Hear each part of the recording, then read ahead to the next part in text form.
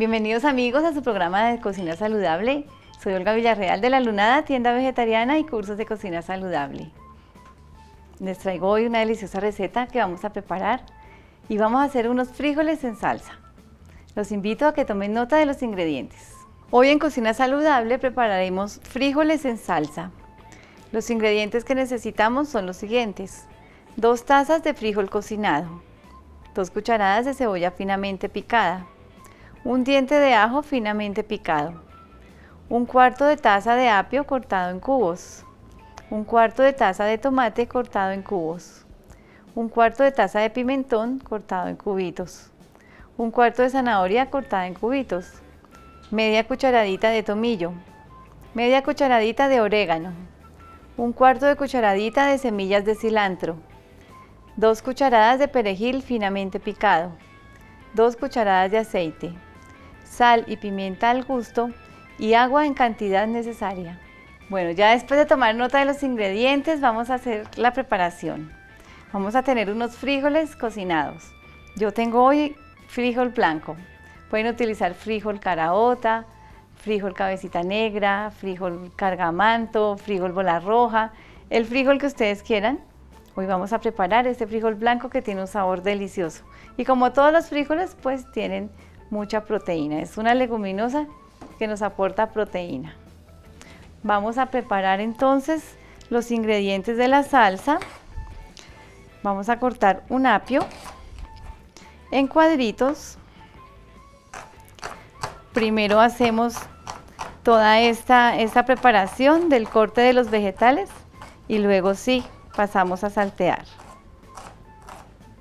Bueno, aquí tenemos apio, vamos a poner otro. El apio nos va a dar un sabor delicioso. Y lo importante es que le vamos a poner verduras para que la salsa pues nos quede bien enriquecida en nutrientes.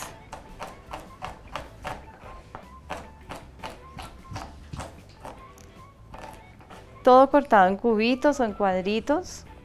Tenemos el pimentón. Este pimentón le vamos a quitar la fibra.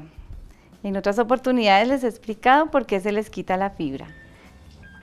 Esto es lo que hace que caiga muy pesado el pimentón, que las personas que sufran del colon no puedan consumirlo por esta fibra y por la cáscara. Entonces lo vamos a poner directamente en el fuego a que se le queme la cáscara, lo vamos volteando hasta que quede bien negrito. Le quitamos la cáscara, las pepas las semillitas y le quitamos esta fibra.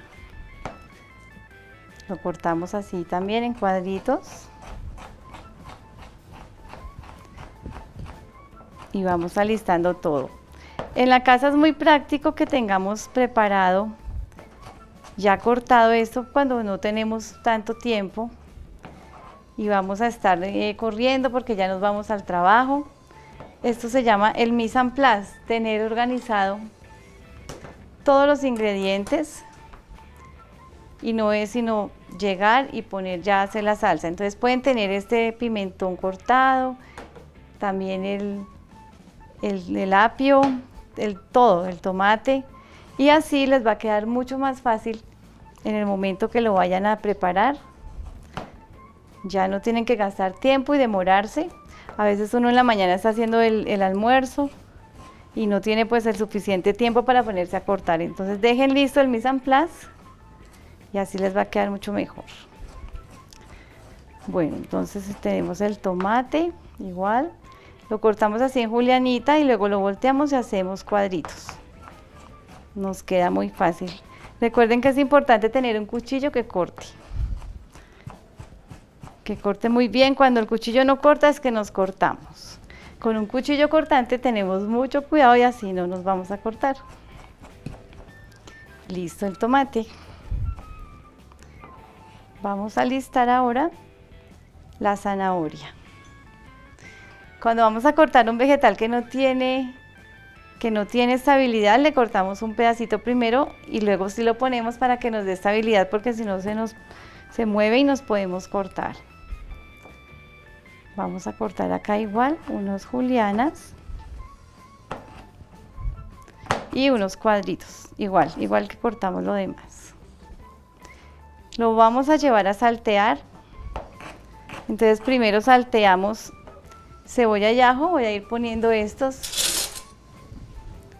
Tenemos la sartén, que se caliente bien, luego le vamos a poner el aceite. Salteamos ajo y cebolla, mientras terminamos de cortar la zanahoria. Un poquito de aceite, una cucharada más o menos o dos. Aquí ya estaba caliente la sartén, entonces vamos a agregar cebolla y ajo.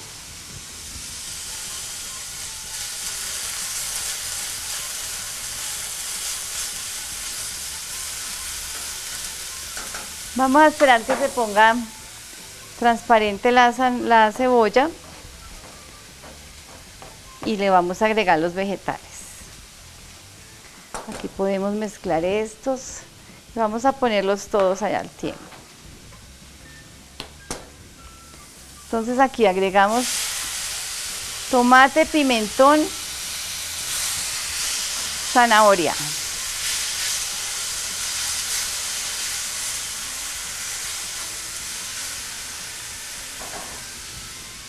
Y vamos a agregar el apio.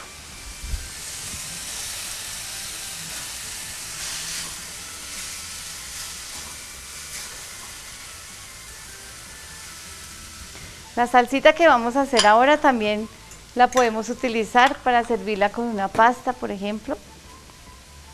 Siempre me gusta darles, darles otras opciones de cómo utilizar las diferentes salsas o los diferentes ingredientes. Porque la cocina es así, es variada. Podemos ir mezclándola con otras cosas. Bueno, ahora le vamos a agregar las especias. Y aquí tenemos una especia que de pronto no la habíamos trabajado antes y son las semillas de cilantro. Estas semillas de cilantro saben muy diferente al cilantro. No nos va a saber como cuando le ponemos a algo cilantro, sino ellas son dulcecitas.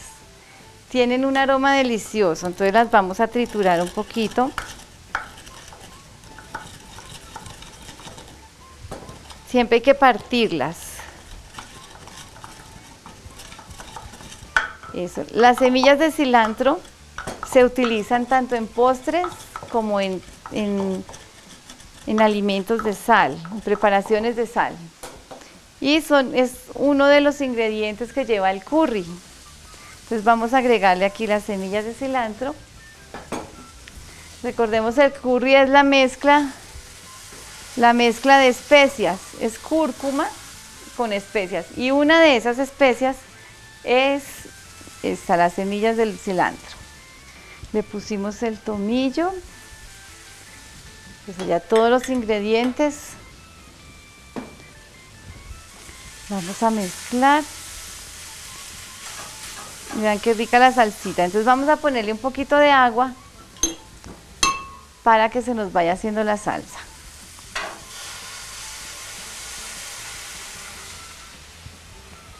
Le vamos a poner la sal.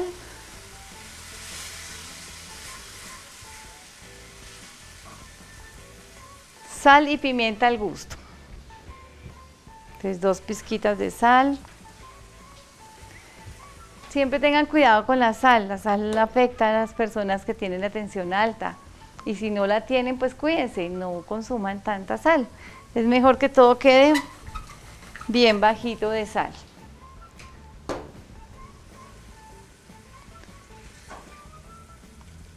esta salsita con más vegetales o con solamente esto sobre la pasta y le pican aquí unas salchichitas vegetarianas bien ricas, les queda una pasta deliciosa.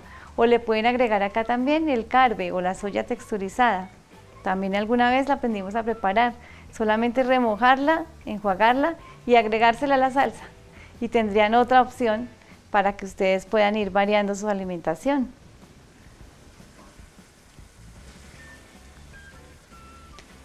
Entonces, qué rico. Bueno, mientras tanto sigamos. Voy a explicarles, bueno, lo de, los frijoles. Los frijoles los dejamos previamente en agua. Dos o tres días es importante dejarlos en agua para que ellos empiecen a, casi que a, empezar a germinar, que es muy importante. Cuando un alimento empieza a germinar, es como si renaciera. Los, los nutrientes se multiplican, entonces no lo vamos a dejar solamente 8 eh, horas, sino vamos a dejarla más, ojalá 24 horas. Le vamos cambiando el agua, o sea, dejamos 12 horas, cambiamos el agua, 12 horas, cambiamos el agua. Siempre esa, el agua donde dejen los frijoles o los frutos o las leguminosas, la lenteja, los garbanzos, los, pueden, los tienen que cambiar. Nunca vayan a cocinar en la misma, ah, en en la misma agua donde los dejaron. Siempre le cambian el agua. Esta preparación Pueden cambiar estos frijoles por garbanzos o por lentejas y le hacen la misma salsita y les va a quedar súper rico. Entonces aquí miremos la salsita. Vamos a agregar los frijoles.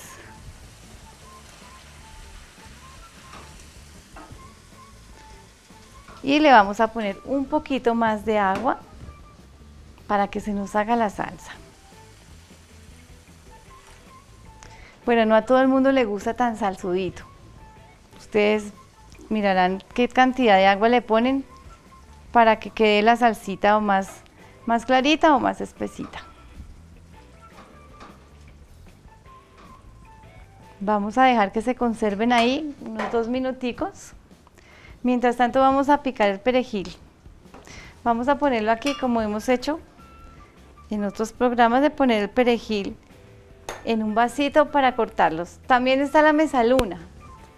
Si no tienen la mesaluna, pues el, el vasito es muy práctico porque todos tenemos un vasito y bueno, las tijeras sí tienen que ser de las de la cocina. Compren unas tijeras especialmente para la cocina y así pueden cortar. Van girando el vasito y van cortando muy fácil. Este es un truquito que me encanta porque es facilísimo. Si van a usar cilantro, también lo pueden cortar así.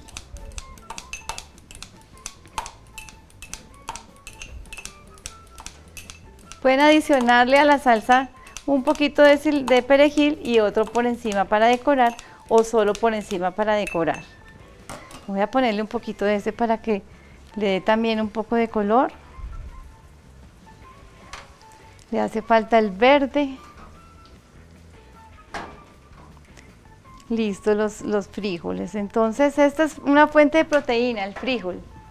Pero cuando somos vegetarianos, sobre todo, y esa es nuestra fuente de proteína, siempre debemos mezclar el frijol o las leguminosas con un cereal para que unida las proteínas de los dos nos dé la proteína completa.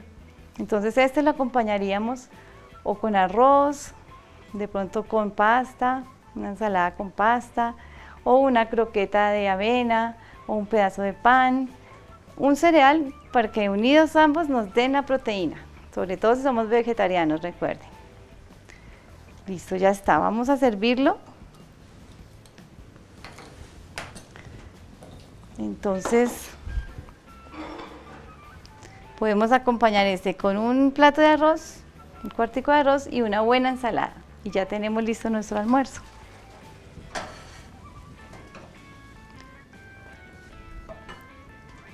Bueno, entonces vamos a servir. Espero que les haya gustado esta receta. Es súper rica y súper fácil.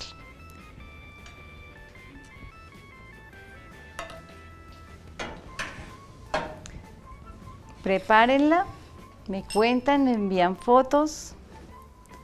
Vamos otro poquito acá. Recuerden que nos encuentran en www.lalunada.com www.latiendanaturista.com. Estamos en Facebook, nos encuentran como La Lunada Tienda Vegetariana, en Instagram como La Lunada Cocina Vegetariana. Y ahí nos podemos contactar, nos pueden enviar las fotos. Me encantaría ver y hablar con ustedes o que nos visiten en la tienda. Fue un placer estar con ustedes amigos, un abrazo para todos. Que estén muy bien, hasta pronto.